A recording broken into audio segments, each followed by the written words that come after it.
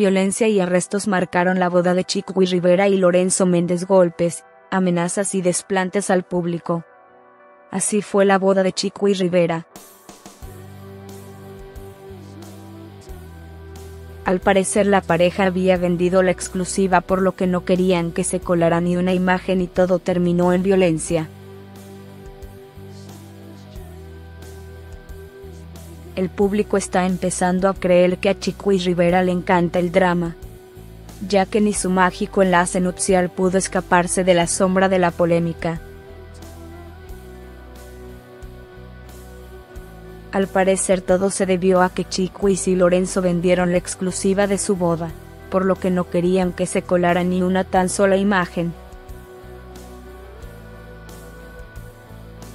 Y lamentablemente no pudieron manejar la presión mediática y reaccionaron con rotunda violencia. La prepotencia estuvo a la orden del día, incluso hasta los miembros de la familia tuvieron una conducta cuestionable.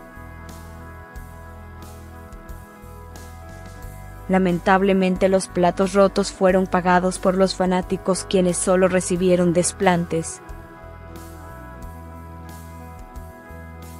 En represalia, el tío de Chiquis, Juan Rivera publicó el número de celular del periodista Raúl de Molina por haber boicoteado el enlace nupcial.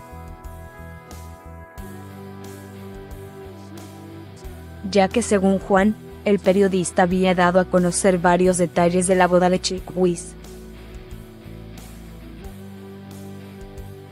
Y para rematar, el camarógrafo que resultó más agredido en el evento, labora para el show de espectáculos El Gordo y la Flaca, conducido por Raúl.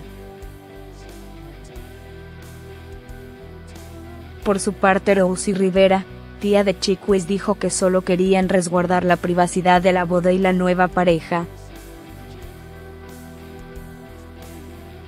Mientras que Juan remató diciendo porque es su boda y ella tiene derecho de compartir lo que ella quiera. Es de ella la boda, no es del mundo, tratando de negar que los recién casados hayan